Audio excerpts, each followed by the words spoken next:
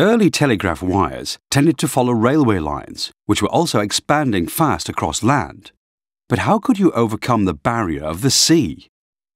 The first attempt was made in 1850 when an international submarine telegraphic link was constructed on the orders of a British entrepreneur, John Watkins Brett. It joined Dover in England and Cap Gris-Nez in France. It was a simple, poorly protected copper wire, and a stronger cable replaced it the following year. Stock prices were exchanged between Paris and London. The Atlantic Ocean presented a far bigger challenge.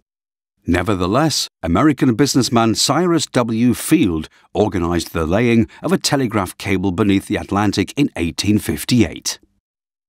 Britain's Queen Victoria and US President James Buchanan used it to exchange congratulatory telegrams. However, the line failed after a few weeks. Supported by Field, a transatlantic cable was successfully laid in 1866. It was carried aboard what was then the biggest ship in the world, Great Eastern, designed by a British engineer Isambard Kingdom Brunel.